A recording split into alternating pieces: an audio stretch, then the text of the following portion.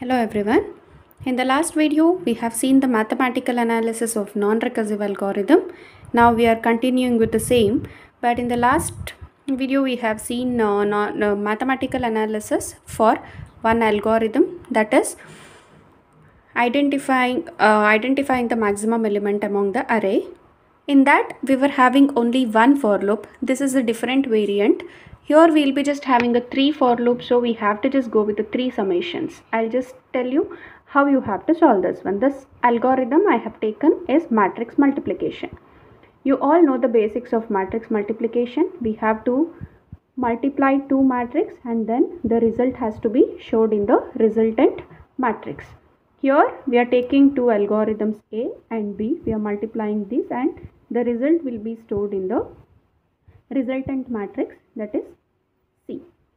Okay.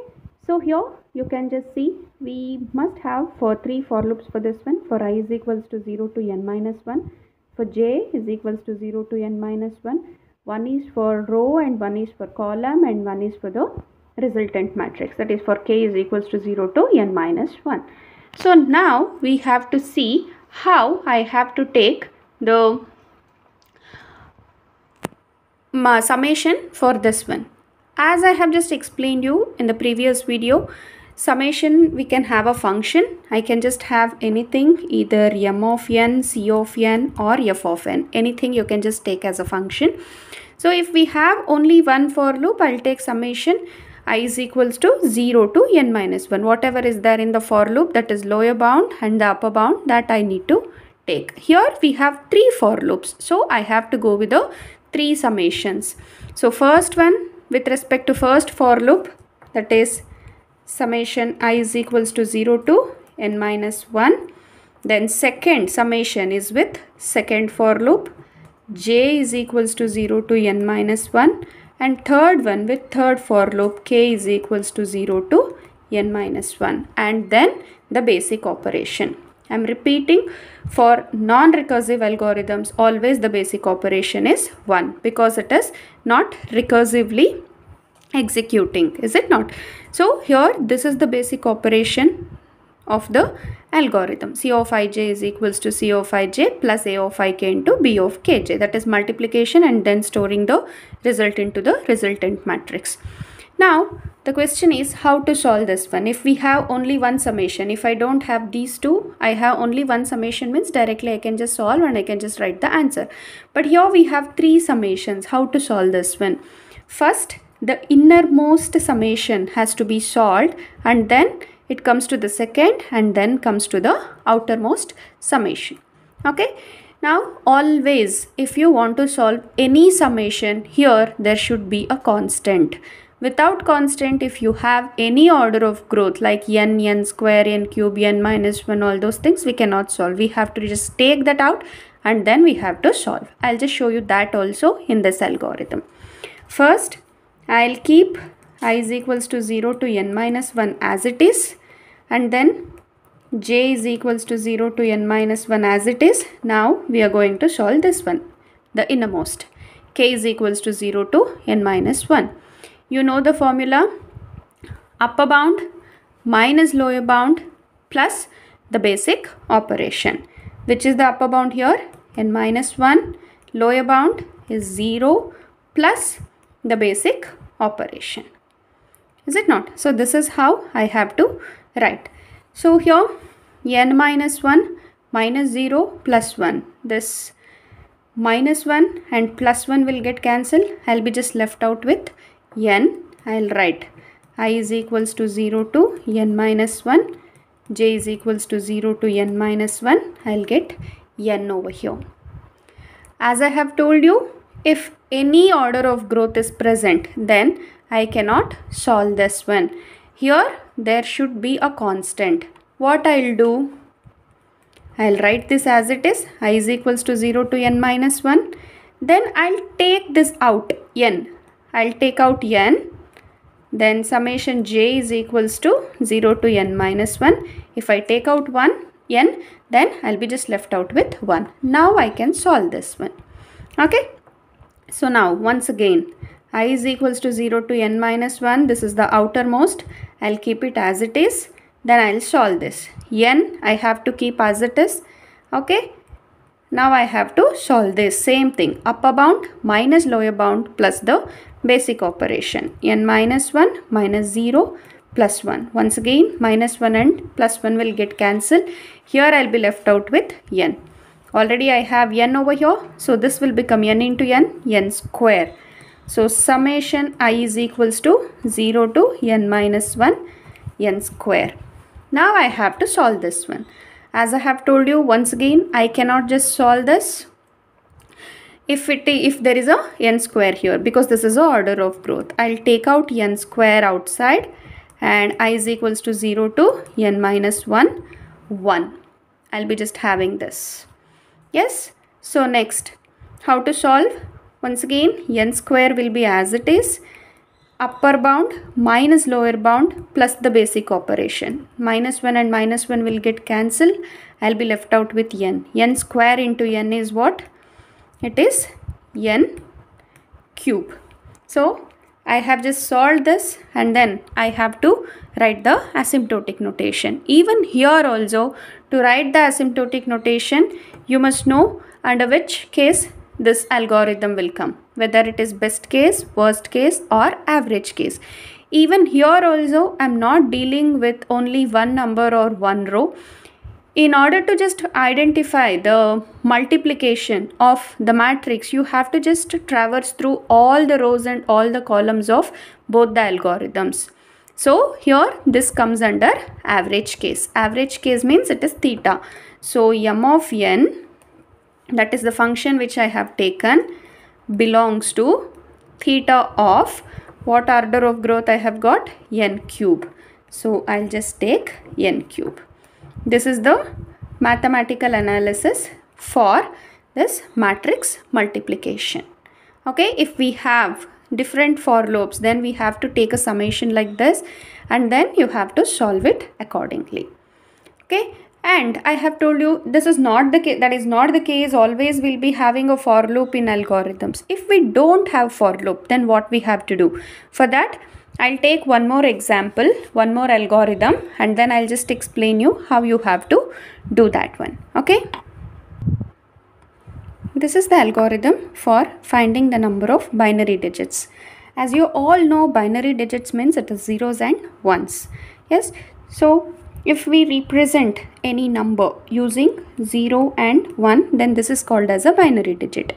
Here this algorithm is to find the number of binary digits. How many digits are there? How many binary digits are there in this one?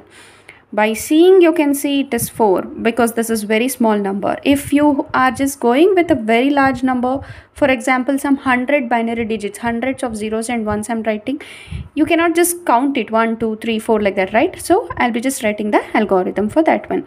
First i'll explain you how the algorithm is just going to work and then i'll just explain you how you have to find out the mathematical analysis for this one as you can see here I, I have just taken 1 0 0 1 so what is the value of n? N is equals to 4 yes? So initially count will be equal to 1 so I'll take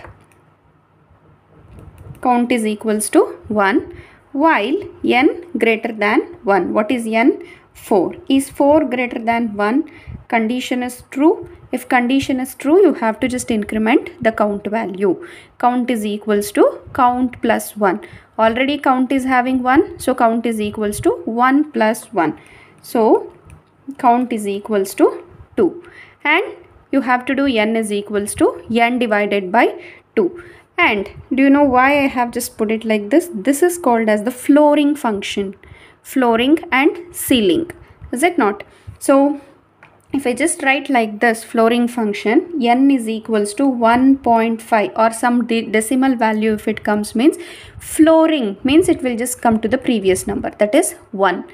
If I have written ceiling function like this okay if I have written like, like the ceiling function then it will go to next number.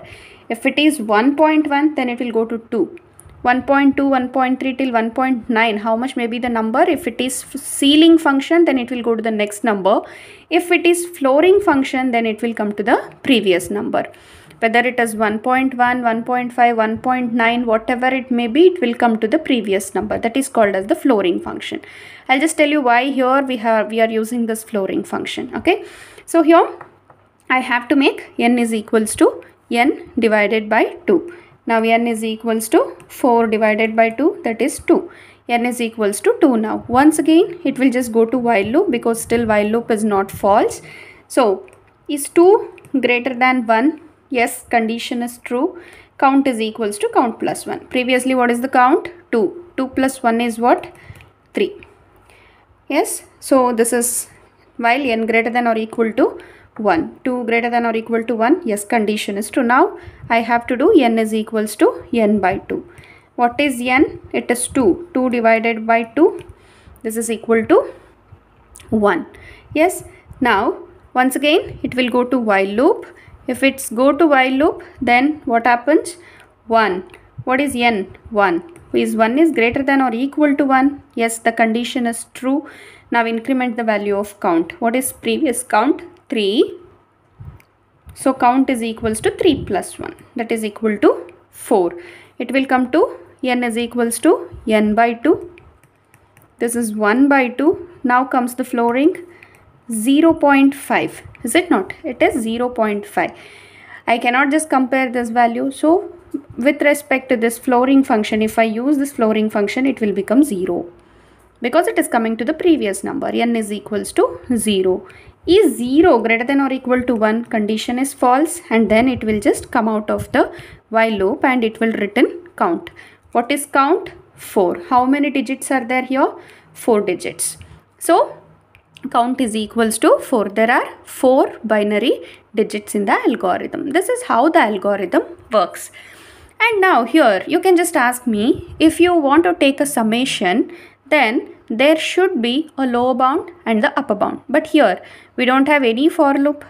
We cannot just take the lower bound and upper bound because here we have a while loop not the for loop. Is it not? In such cases, what we have to do always in non-recursive algorithms, we have to just think that if there is a while loop, yes, if there is a while loop, then it will just go for a longer time. So we have to just find out, we have to just take the lowest order of growth what we have in the table. Before that, we have a order of growth table in that order of growth table first we'll be just having the log n2 base 2 this is this lowest one then n then n into log n2 base 2 then n square then n cube then 2 power n then n factorial these are the order of growths we have that means this is the n factorial. Factorial function is the fastest growing function. That means if the algorithm is very fast, then we'll go, we'll be getting n factorial. Then 2 power n, n cube, n square, n into log n to base 2, n and log n to base 2. This is the least. Okay. This is the slowest we'll just consider. Fine. These are the order of growths we have. So here if you have a while loop then no need to calculate the mathematical analysis. Directly I can consider log n to base 2. Okay, this is not very faster. This is the lesser only. So we'll consider this one. Directly we can just write it as log n to base 2. So here we, log n to base 2 we can write but what is the asymptotic notation? Asymptotic notation it is as usual how we will just calculate okay? So here in this also I have to traverse through all the numbers. I'm not leaving any number. So here the order of growth will be theta. So as I have just told you m of n is equals to before that I have to write log n to base 2 plus 1 that is the basic operation means this is the this is having the while loop. So I'll be just writing log n to base 2 plus 1. No need to calculate. Directly I can just write it. So m of n belongs to theta of log n to base 2. This is the mathematical analysis for the algorithm which is not having any for loop which is having while loop. Whichever non-recursive algorithm you have a while loop then you'll be just having the mathematical analysis as, as theta of log n to base 2 okay these are some of the examples. I have just showed you all the variations of uh, algorithms in non-recursive algorithm. In the next video i'll be just taking the mathematical analysis for recursive algorithms. Thank you